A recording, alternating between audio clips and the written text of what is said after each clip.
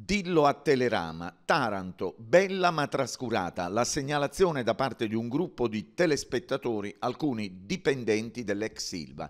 Le immagini testimoniano lo scempio. Siamo nei parcheggi e nelle strade adiacenti, le complanari, dello stabilimento siderurgico di Acciaierie d'Italia. Al cospetto di queste immagini sale davvero un sentimento di vergogna, degrado, rifiuti di ogni tipo, nella noncuranza dei proprietari di questi luoghi.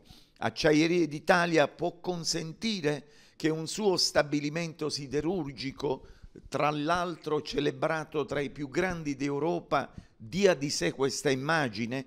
Si parla di transizione energetica, riqualificazione ecologica, un'ex Silva moderna e competitiva.